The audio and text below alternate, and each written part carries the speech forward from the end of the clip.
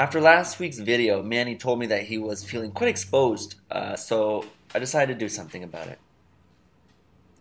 Anyways, on with this week's project. I'm going to be an audience member at my sister's wedding.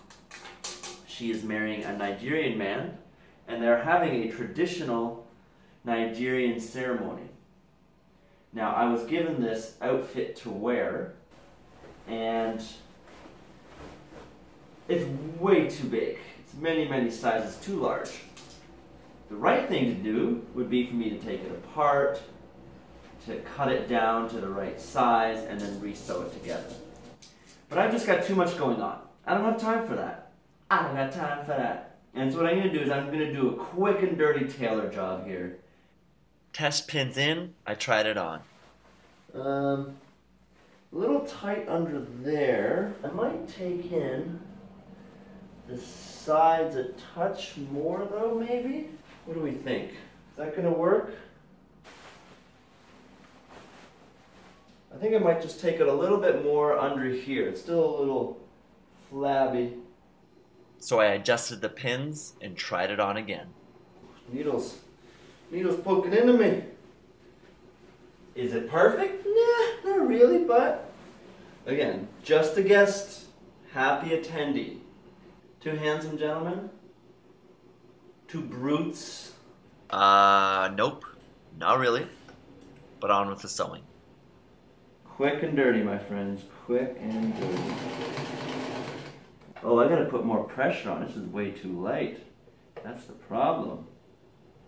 We need more foot pressure because this is a really thin fabric and last week it was a thick one. Might even do a little more pressure. There we go. I was also told that my, or this outfit was going to be a vibrant neon green. So thank the high heavens that didn't happen. That would have been an absolute atrocity.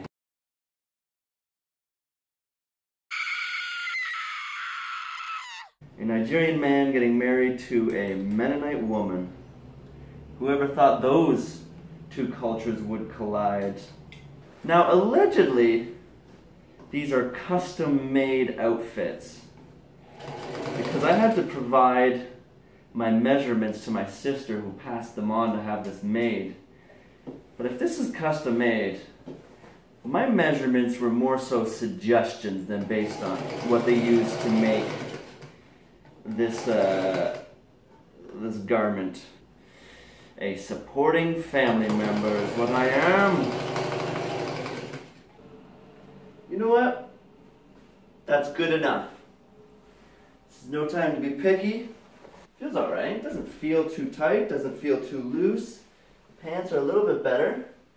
So, last step is now the finishing details. So, maybe I'll just make this a montage scene.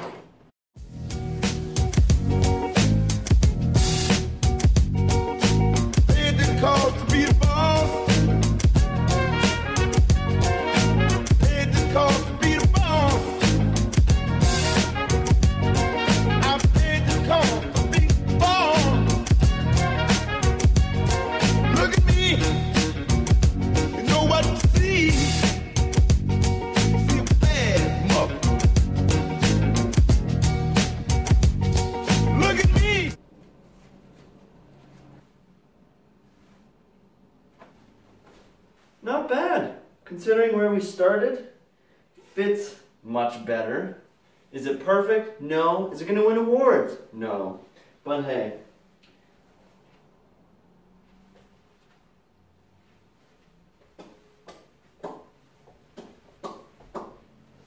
Okay, enough silliness. On to the wedding. We got ready at my sister's place and then headed over to the home of my brother in law's family.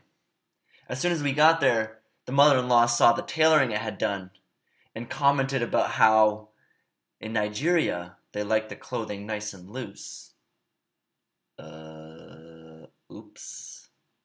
Anyways, first we got an impromptu little dance from Grandma.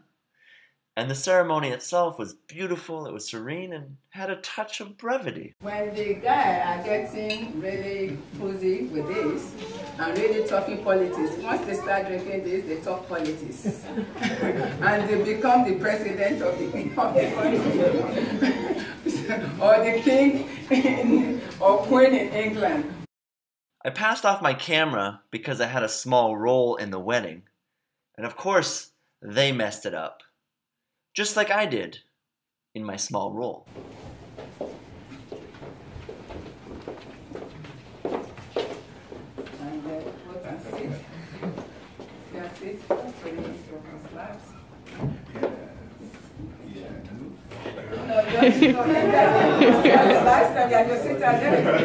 I was only supposed to seat her once.